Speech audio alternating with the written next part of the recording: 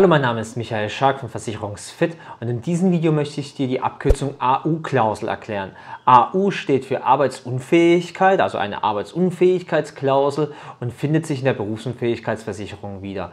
Wenn diese AU-Klausel bei dir mit drin ist in deiner Berufsunfähigkeitsversicherung, dann erhältst du die monatliche Rente deiner Versicherung schon nach Eingang des ärztlichen Attests beim Versicherer, wenn du über sechs Monate krankgeschrieben bist.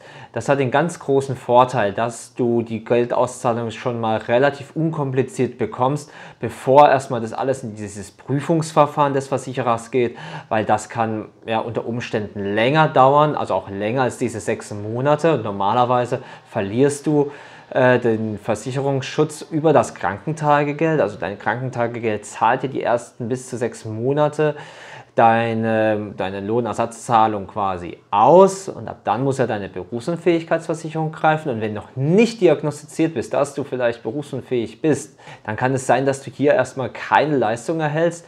Und diese AU-Klausel sorgt dafür, dass du unbürokratisch nur anhand von den ärztlichen Attests ja, die Versicherungssumme ausgezahlt bekommst, wenn du natürlich nicht arbeiten kannst.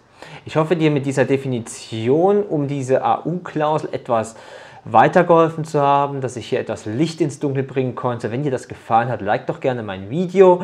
Äh, wenn du weitere Fragen dazu hast, dann ja, schreib mir doch einen Kommentar oder schreib mich direkt an. Ich bin gerne für euch da, beantworte gerne die Frage. Dann freue ich mich in dem nächsten Video, dich wieder zu sehen. Bis dahin, ich bin raus, dein Michael. Tchau!